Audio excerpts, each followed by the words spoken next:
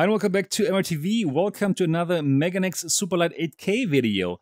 In this video, I'm going to show you the software of the Meganex Superlight 8K and I'm going to walk you through everything that you can do here just so that you have an idea of how that would look like. And yeah, let's directly get into this. So this is how it looks. And well, you can download it from the website once you've made the purchase.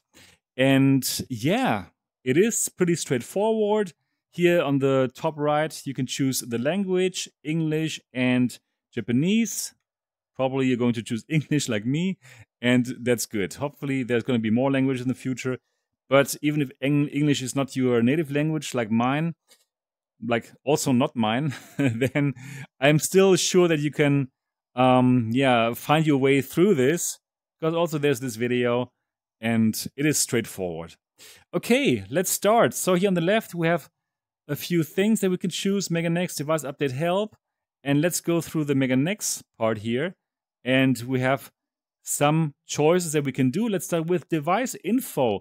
And here, device info, it simply shows the state of the headset. So this green check mark, it shows us, yes, the device is on, everything is okay, and it's started. Good. Then here is a, a, reboot button. You click it and then the device, the device, the device will shut down and reboot again. So that's good if you want it. And also there's a, a power off button if you want to completely shut it down. You can do so too. And also there's actually a physical button on the bottom of the headset. You can also click that if you absolutely want to shut it down. So very straightforward. Then, next one's very interesting it's the IPD setting. So it shows us the current IPD, the interpupillary interpupillary distance. And yeah, it's set to 65 millimeters now. Actually, my IPD is 64 millimeters, but the yeah the lenses are so good. They have such a big sweet spot, and you also find if you put it like like uh, a bit higher or a bit lower, so you can do that. So if you click on the on the minus or plus, it's going to change. And actually moving, the lens is going to move. Yeah, that is really cool. So there's a motor inside and it's simply going to move. And once you, you have set your IPD, you can click on Save Current IPD. When you click it, it's going to ask you for your name. And well, I've already saved it here, Sebastian, right? And that's so cool. It's going to store your IPD. So if you're using the headset with more than one person, like for example, if your partner also likes VR, then the name of your partner would be here as well. So for me, it would be Sebastian and then Eliza. And then if my wife would be using it, she would click on Eliza and automatically her IPD would be set for her. So very, very cool. Very nice to use this with more than one person. Or also probably if you're going to use this at work, right? Because now we finally have the resolution where you can work with this. And I'm going to show you this in another video that I'm going to show you soon. So you can easily, yeah, share this headset with your colleagues and nobody has to set their IPD more than once. So nice. Okay, let's keep on looking what else we have. Audio setting. Why are there audio settings when there's no audio? Well, there is a microphone and you can set the gain here and that's good. I didn't do that in my first videos. Yeah i simply gave you the content as soon as possible but now i've set it to 39 it was on 50 before so now the mic should sound better and it shouldn't be so hot. Also in my last video i had a strong lisp. It was kind of funny. Yeah i love i laughed a lot when i watched that video. And the reason was the noise reduction was on strong and it would compress the audio in a way that gave me that lisp. So now I've set it to weak, and I hope that I don't have this lisp anymore. But there shouldn't be a lisp anyways, right? So I told the company, and they told me yes, they are aware of it, and they're going to give us a fix that will completely eliminate the lisp, hopefully. Lisp. Hopefully that, that sounds like okay and not funny. Then we have a beam forming. You can choose wide or narrow. Yeah, so you have the choice for this microphone here. Good, good. All right, next we have image setting. Of course, very important. Let me go up. So first of all, brightness. When the device comes to you, it's going to be set to 50. And yeah, for my for my feeling, that's too dim. So I set it to to 70 to 97. And yeah, now th this is a very nice brightness. It is somewhere between Pico 4 and Quest 3, I would say, in terms of brightness, but has way better contrast. So I prefer this over both um, yeah, optical stacks of the other headsets that I just mentioned. It's it's great. And it better be for 2000 euros, right? So yeah, that makes sense. So why didn't I put it to 100%? Right now, I, there's still some bug in this when I set it to 100%. Like one of the displays will be darker than the other. So for 97%, I don't have this problem. Yeah, probably a little bug that the team still has to fix. So interestingly, we can you can also adjust left right individually if you want. Yeah, so if for example, for some reason one display is brighter than the other, it, it can happen with displays, right? Then you have the chance to uh, yeah to to adjust the the brightness of one and make it dimmer, for example, or the other brighter, so that you have the same brightness on both displays. Very cool setting and actually, this can truly happen with displays. Yeah, so um, it's good that they have this. Very well done. So then you can also change the contrast. And that is actually cool. It was on 50 before. I put it to 54. I wanted a bit more of that OLED feeling, that high contrast, because I felt at 50, it was, yeah, it was okay, but it was not this, wow, this super nice contrast. And you have these great contrasts with OLED. Why not make use of it, right? And uh, actually, I I should make another through the lens video because I did not I had not set up that before I was doing my through the lens video. I was too excited about this through, through the lens video. I wanted to make it fast, but you know what? I should do another one with my new colors here that I set up. So then black levels also for that. It was on 50 before but I went down a bit to have even darker blacks. You can make them super black. Obviously, it's OLED. And yeah, so you can still set this. And then also chroma. If you want your colors to, yeah, to have this deep saturation, you know, if you want it to look like super OLED like the PSVR 2 or the Samsung Galaxy displays from their phones, you can do that with chroma. So it was on 50 before, which was okay, right? But if you want this, ah, this OLED feeling, yeah, and I want it, then you can set the chroma a bit up. And that's what I did here. And now, yeah, it looks, ah, it looks so OLED You know, I love OLED, and this is an OLED headset. Why not make full use of it? Okay, you can set the color temperature if you want. And also here, you can set the dynamic range. SDR or HDR. If you have some HDR content, you must change it here and then it can be shown. And what's nice about this, this is really, really also for professional users, for designers who need to have that color ac accuracy and stuff, right? Or if you want another color mapping, you can change it here to Adobe, right?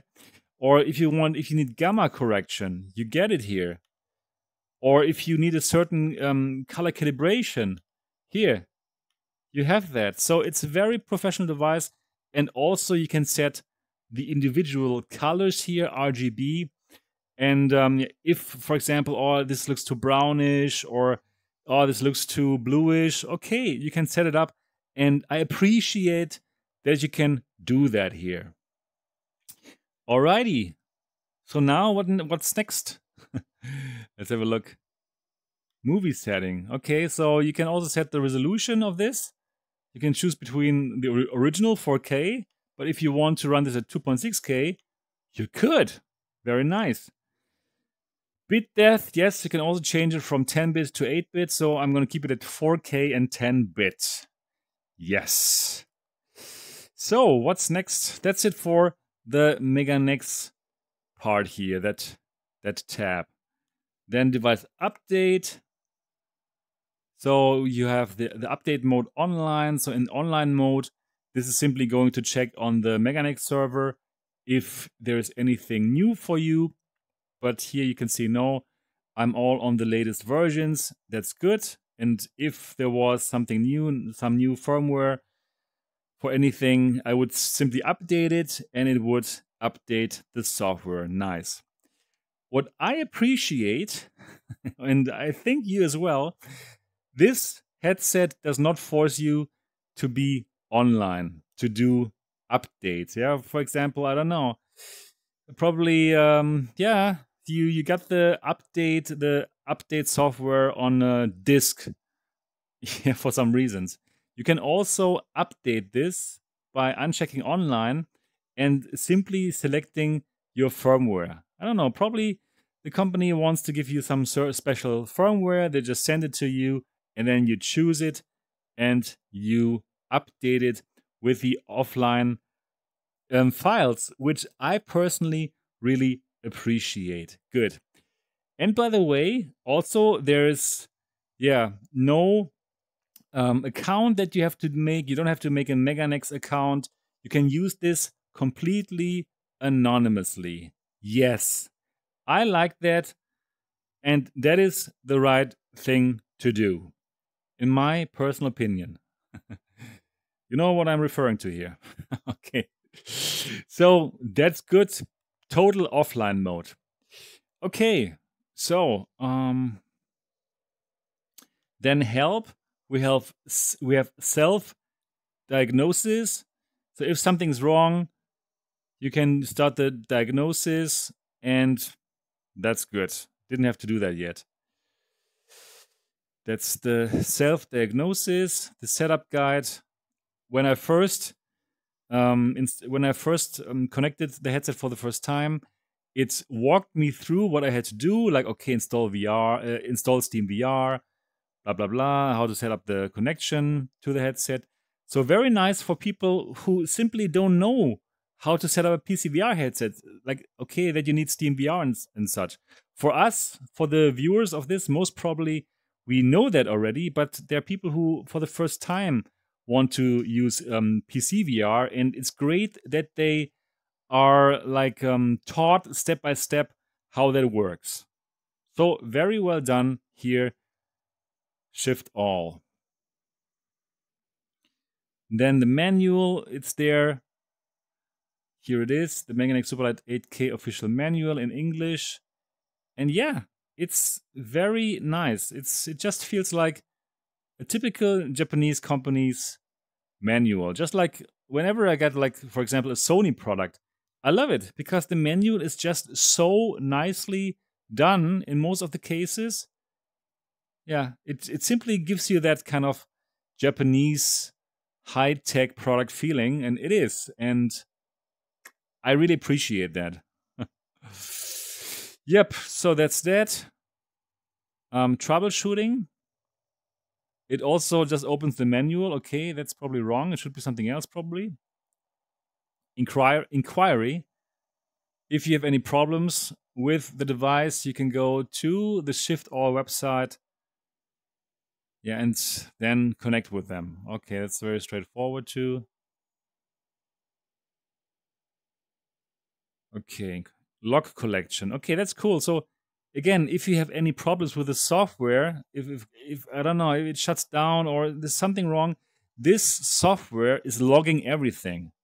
Yeah, so if you have any problems, you can collect the log and you can send it to the team and then they can analyze it and make the next version better. So super, super nice professional to do it this way.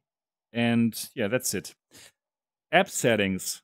Language, yes, you can change the language here. You can choose a dark mode and uh, bright mode. And by the way, this is bright now. I, I don't want it. It's too bright for me. So that's a great thing. This is not dim. This is like a good brightness. And yeah, I prefer dark mode here. App version is now 1.2.00. Probably when you are getting your Mega Meganex, then it's going to be higher already because there's still some bugs that they're going to fix, right? So next versions are coming up. Yeah, and that's it. Super straightforward. I really hope that now you have a better idea of what you have to expect with the software. You can download it from the website. And um, yeah, it works well. It's the stuff that needs to be done.